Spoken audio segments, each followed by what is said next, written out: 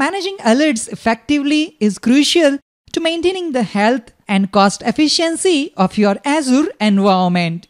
Azure Action Groups provide a flexible and powerful way to define who gets notified and what automated actions occur when alerts are triggered. Hello everyone, I hope you are all doing well. I'm Manhar and welcome back to MSFT Webcast. In this video, we will walk you through how to create and manage action groups in the Azure portal so you can automate responses and keep your team informed. An action group is a collection of notification preferences and actions that can be triggered by Azure Monitor alerts. When an alert rule fires, the action group is notified and it can perform multiple actions like sending emails, SMS messages, pushing notifications to apps, or invoking webhooks and automation runbooks. In the previous video, we learned the steps to configure budget and cost alerts in Azure. In that video, the only notification option available was to send alerts to specified email accounts when thresholds were met. However, when configuring budget alerts at the subscription or resource group level, you also have the option to use action groups to perform specific actions when a threshold is triggered. In this video, we will create an action group and then use it to configure budget alerts at the resource group level.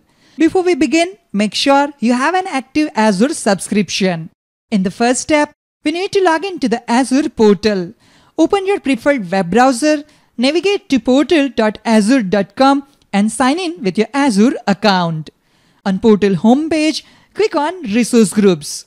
Click the resource group where you want to set up the budget and cost alerts.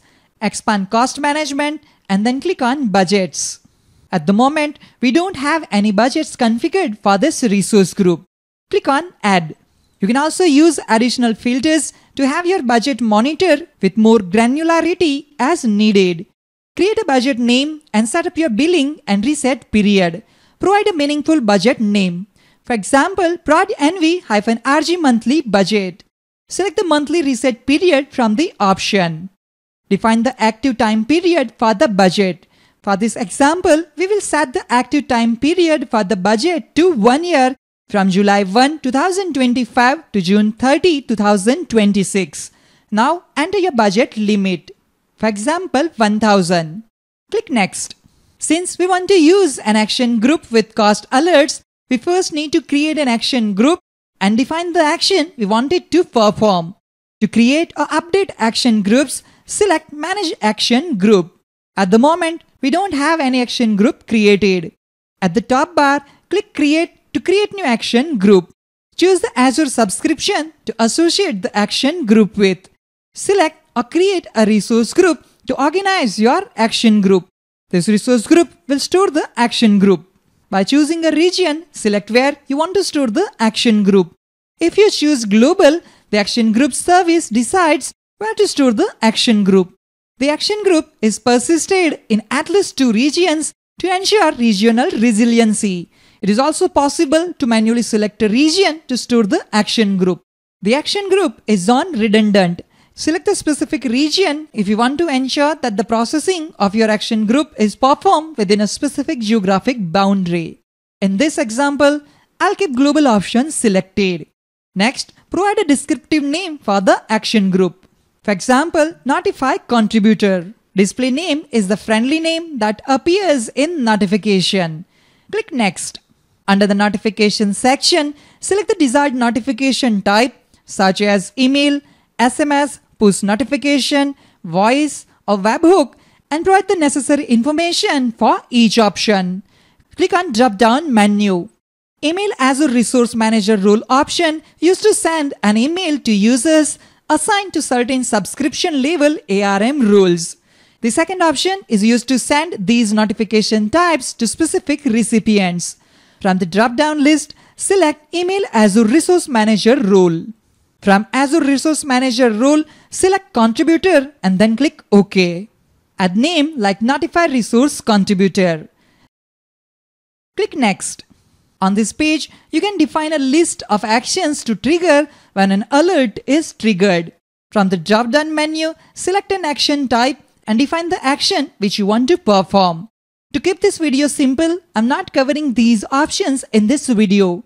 I'll cover this topic in a separate video when discussing Azure monitoring. Click Next. Assign a key value pair tag to the action group to help categorize your Azure resources. Now select Review plus Create to review your settings. This step quickly checks your inputs to make sure you entered all required information. If there are issues, they are reported here. After reviewing the settings, select Create to create the action group. If your subscription is not registered to use the Microsoft Insights namespace, you will likely encounter an error stating failed to create action group. It may take a few seconds to create the action group. Please wait. The action group was created successfully. Click refresh to see the updated list. Repeat the same steps to create another action that sends a notification to the resource owner. At the top bar, click on Create. Provide a descriptive name for the action group, for example, Notify Owner. Type the display name and click Next. From the drop-down list, select Email Azure Resource Manager role. From Azure Resource Manager role, select Owner and then click OK. Add name like Notify Resource Owner. Click on Review plus Create. After reviewing the settings, select Create to create the action group. Wait for a few seconds. It takes a few seconds to create an action group. Let's create another action to send email to billing administrator. On the top bar, click Create. Choose the Azure subscription and resource group. Provide a descriptive name for the action group. For example, Notify Billing Admin. Type the display name and click Next. From the drop-down list, select the second option. Select the email checkbox to send this notification to specific recipient. Enter the email address where the notification should be sent. For example, enter the billing administrator's email address. After entering the email address, click OK. Add name like send an email to billing administrator. Click on Review plus Create. After reviewing the settings, select Create to create the action group. Wait for a few seconds. It takes a few seconds to create an action group. The action group was created successfully. Click refresh to view the updated list of action groups. We have created a total of three action groups. Let's use them while setting up budget and cost alerts at the resource group level. At the top bar, click on Create Budget. As covered in the last video, budgets require at least one cost threshold and a corresponding email address.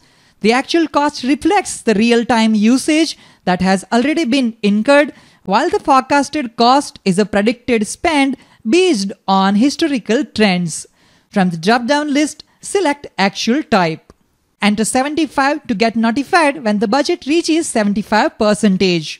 On the action group, click the drop-down menu and select the Notify Contributor Action group from the list. This will send a notification to the resource contributor when the budget reaches the 75% threshold. Again choose actual type and enter value 90. Under action group, click the drop-down menu and select the notify owner action group from the list. This will send a notification to the resource owner when the budget reaches the 90% threshold. Again choose actual type and enter value 95. Under action group, click the drop-down menu and select the Notify Billing Administrator action group from the list. This will send an email to the billing administrator when the budget reaches the 95% threshold. Repeat the steps to set up the same actions for the forecasted cost. Now provide one or more email addresses to receive notification emails. Note that this is a separate from the actions configured in the action group. Select your preferred language for receiving the alert emails for all recipients provided above. When you are ready, click Create to create an Azure budget and cost alerts using the settings you have configured. First, it will perform the validation. If validation is successful, then it will create a budget with the configured settings. The budget was created successfully. Azure will begin monitoring spending against the defined budget and notify the assigned recipients once thresholds are reached. To view or edit existing budget, click on Budget Name. On this page, review the settings. To edit the budget, click on Edit Budget. Remember, You cannot modify the budget details, but you can change the budget amount. Click Next. Modify the alert conditions and alert recipients as needed. Once you are done, click Save to apply the changes. You can use the same steps to configure budget and cost alerts at the subscription level. This concludes our video on creating and managing action groups and how to use them when setting up Azure budgets and alerts. I hope you found this video helpful and informative. If you have any questions or comments, feel free to leave them below. Don't forget to like and subscribe for more videos on Microsoft Azure and other Microsoft related topics. Thank you for watching and I'll see you in the next video. Have a great day.